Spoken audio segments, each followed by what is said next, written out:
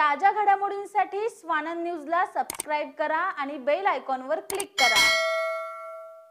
कल्याण बाजारपेठेतील रस्ता रुंदीकरणात बाधित झालेल्यांना गेल्या चोवीस वर्षांनंतरही उच्च न्यायालयाने पालिकेला आदेशित करूनही या बाधितांचे अद्यापही पुनर्वसन झालं नसल्यानं या बाधितांची जागरूक नागरिक फाउंडेशनच्या माध्यमातून मुख्यमंत्री एकनाथ शिंदे येणार असलेल्या मार्गावर केडीएमसी मुख्यालय प्रवेशद्वाराबाहेर आजपासून धरणे आंदोलनाला सुरुवात केली आहे. केंद्र व राज्य शासनाच्या संयुक्त विद्यमाने तसंच कल्याण डोंबिवली महानगरपालिकेने आपले आर्थिक योगदान देत बीएसयूपी योजनेचा मुहूर्त रोवला. या योजनेत पालिकेने अनेक टोलेजंग इमारती उभ्या करत सात हजार दोनशे बहात्तर सदनिका या योजनेत बांधल्या.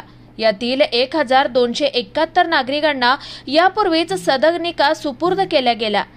तर तीन हजार एकशे छत्तीस राहण्यायोग्य सदनिका तयार केल्या गेल्यात. मात्र गेल्या चौदा ते पंधरा वर्षाच्या कालावधीत या बांधलेल्या काही इमारती पालिका प्रशासनाच्या दुर्लक्षतेपणामुळे वापराविना पडून राहिल्याने कडी कोयंडे दरवाजा खिडक्या पाईप लिफ्ट विद्युत वायर तरोट यांनी चोरून लंपास केल्याचं दिसून येत आहे. पालिकेच्या अक्षम्य दुर्लक्षपणामुळे पडीक सदनिकेवर किमान पंधरा कोटी रुपयांचा अतिरिक्त खर्च अपेक्षित असल्याची माहिती सूत्रांकडून मिळाली असून गेल्याच आठवड्यात पालिका आयुक्त इंदुराणी जाखड यांनी सोडत पद्धतीने चारशे एकसष्ट बाधितांना सदनिका देण्याचं जाहीर केलं होतं.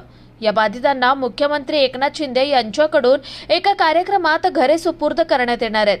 कल्याण बाजारपेठेतील रस्ता रुंदीकरणात बाधित झालेल्यांना गेल्या चोवीस वर्षांनंतरही उच्च न्यायालयाने पालिकेला आदेशित करूनही या बाधितांचं अद्यापही पुनर्वसन झालं नसल्याचं ते तसेच विविध विभागांच्या विविध प्रश्नांवर सदतीस पत्रे आयुक्तांना लिहूनही पालिका प्रशासन त्यावर कोणतीही कारवाई करत नसल्यानं पालिका भवनाबाहेर पदपथावर आणि मुख्यमंत्री एकनाथ शिंदे सदानिका वाटपाच्या अत्रे रंगमंदिर येथे कार्यक्रमाला येणाऱ्या मार्गावर बाधितांनी बेमुदत धरणे आंदोलन सुरू केलं असल्याचं सामाजिक कार्यकर्ते श्रीनिवास घाणेकर यांनी सांगितलंय. तर या आंदोलनाला अनेक राजकीय पक्ष आणि सामाजिक संघटनांनी पाठिंबा दिलाय. मुळामध्ये दोन हजार चोवीसमध्ये आम्हाला सातव्यांदा आंदोलन करायला लागतं आहे दोन हजार साली जेव्हा महापालिकेच्या विरोधामध्ये आमचे पिटिशन दाखल झाले होते त्यावेळेला माननीय उच्च न्यायालयाने आम्हाला घरं देण्याचं आणि कोणत्या जागी द्यायचं कोणत्या वेळेला द्यायचं याचं स्पेसिफिक ऑर्डर केलेले आहेत. तरीसुद्धा द ए, गे- गेल्या चोवीस वर्षामध्ये त्याची अंमलबजावणी कोणती झालेली नाही आहे सात वेळा अनेक वेळा धरणे आंदोलन करूनसुद्धा उपोषण करूनसुद्धा प्रत्येक वेळेला आश्वासन द्यायचं की आम्ही तुम्हाला ब- पुनर्वसन देतो. परंतु कोणतीही पुनर्वसनाची कारवाई मात्र करायची नाही. असा महापालिका प्रशासनाचा हा हट्टास आहे. यावेळेला ही भूमिका आम्ही पिटिशनर लोकांनी अशी घेतलेली याचिकाकर्त्यांनी. की आम्हाला जोपर्यंत घराच्या किंवा दुकानांच्या चाव्या मिळत नाही तोपर्यंत आंदोलन मागे घेतलं जाणार नाही.